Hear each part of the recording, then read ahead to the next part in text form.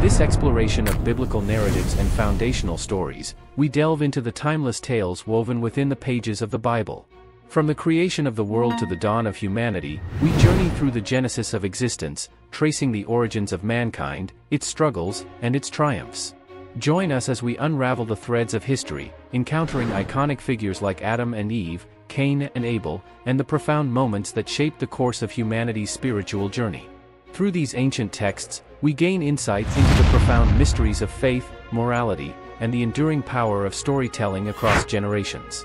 Step into this rich tapestry of wisdom and revelation as we embark on a journey through the sacred scriptures of the Bible. True or false, is the Bible the most popular book ever written, by copies sold? True. According to reliable sources, the Bible is the best-selling book of all time, with an estimated 5 billion copies sold and distributed. Please note that these are estimates, and exact numbers can be difficult to determine due to factors such as the passage of time and the existence of many different versions and translations. What is the first book in the Bible? The book of Genesis is the initial book in the Bible. The term Genesis translates to beginning or origin. The book commences with the well-known phrase, In the beginning, God created the heavens and the earth.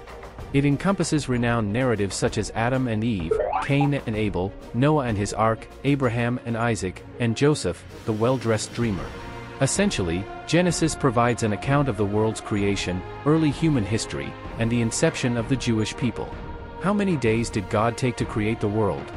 In the book of Genesis from the Bible, it is stated that the world was created by God in a span of six days.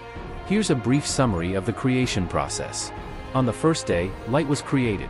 The second day saw the creation of the atmosphere or firmament. Dry ground and plants were created on the third day. The fourth day led to the creation of the sun, moon, and stars. Birds and sea creatures were created on the fifth day.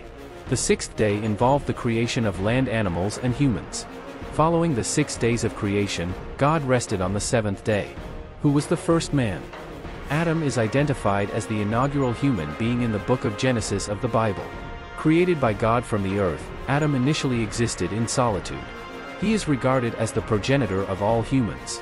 Adam's initial existence was devoid of childhood, parents, family, or friends. It is believed that God, observing Adam's solitude, created a companion for him, Eve. Adam is also recognized as the first steward of the earth.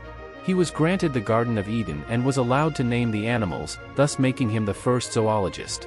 The paradise was his to enjoy, but he also bore the responsibility of its care. Adam would have imparted God's rules of the garden to Eve. She would have been aware of the prohibition to eat the fruit from the tree in the middle of the garden. When Satan tempted her, Eve was deceived. Then Eve offered the fruit to Adam, and the fate of the world rested on his shoulders. As they consumed the fruit, in that single act of rebellion, mankind's independence and disobedience, aka, sin, separated him from God. Who was the first woman? According to the book of Genesis in the Bible, Eve was the first woman, created by God from one of Adam's ribs. Her name, Eve, means life or living in Hebrew, signifying her role as the mother of all living beings. Eve was designed to be Adam's companion, marking her as the inaugural woman, wife, and mother in history. She bore three sons mentioned in the Bible, Cain, Abel, and Seth, as well as other unnamed sons and daughters. Eve is famously associated with the story of the forbidden fruit in the Garden of Eden. Deceived by the serpent, often interpreted as Satan, she ate from the tree of knowledge of good and evil, despite God's prohibition. She then offered the fruit to Adam, who also partook. This act of disobedience led to humanity's fall, introducing sin and mortality into the world.